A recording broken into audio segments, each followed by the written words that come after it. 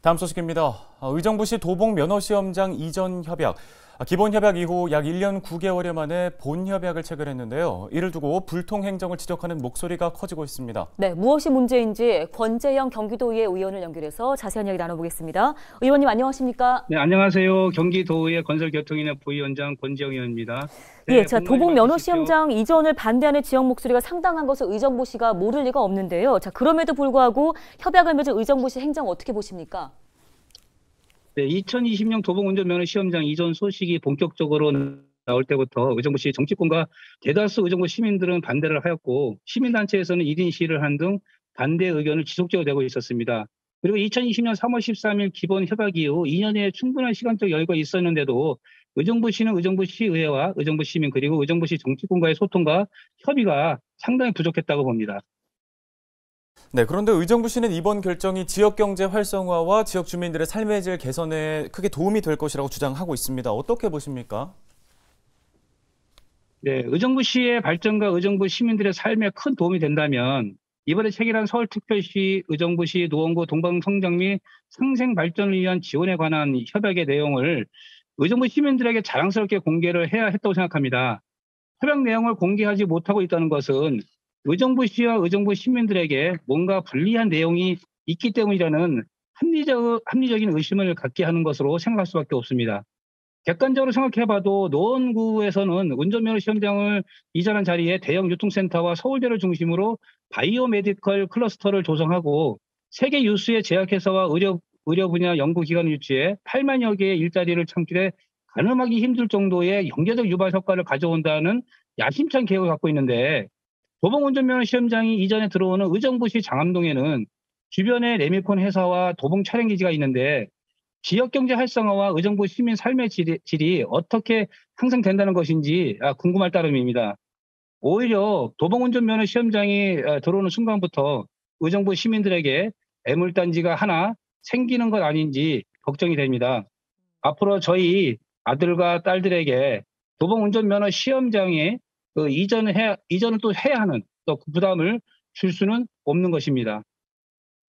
예, 본 협약에 반대하는 목소리가 커지고 있는 상황에서 앞으로 그 의원님께서는 어떤 행동에 나설 계획이신지요? 네, 의정부 시민의 한 사람과 도의원에서 할 수 있는 그 모든 일을 하고 있습니다. 언론 사설과 SNS 통한 도봉 운전면허 시험장 이전의 부당성을 알리고 있고요. 앞으로 경기도의회에서 5분 발언을 통한 도봉 운전면허 시험장 이전에 부당성을 알릴 계획입니다.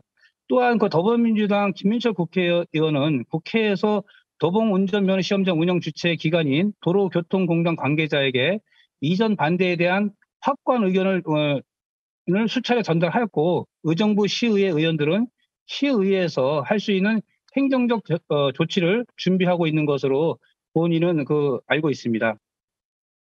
네, 이번 협약이 이전 확정일지 궁금한데 자, 이 자리를 빌어서 의정부 시에 하고픈 말씀 있으실까요? 네, 앞으로 도봉 운전면허 시험장이 이전하려면 경기도에서는 그린벨트 해제를 위한 절차를 밟아야 합니다.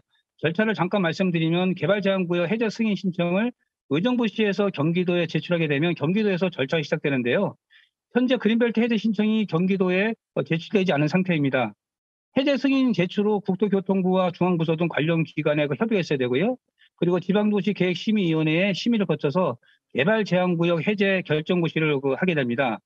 그린벨트 해제 절차 중 그린벨트 해제 신청이 접수 후에 도의원 두 명이 참여하는 지방도시계획심의위원회에서 가결되는 것을 전제로 해서 순조롭게 진행된다 하더라도 최소 6개월 이상의 어, 시간이 그 소요될 수 있습니다.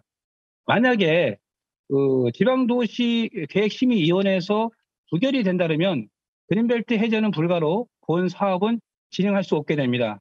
특히 경기도에서 그린벨트 해제에 대한 절차는 올해 3월 대선과 6월 지방선거가 있어 현 지방성, 어, 지방정부에서는 본 사업을 진행하기에는 시간적으로 불가능하다고 생각합니다.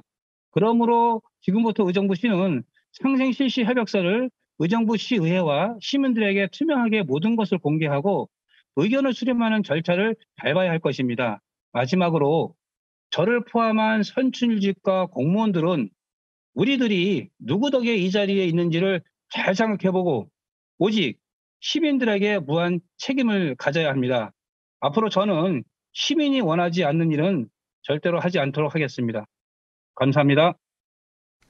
네, 잘 들었습니다. 오늘 관련 도움 말씀은 여기까지 듣겠습니다. 경기도의회 권재형 의원이었습니다.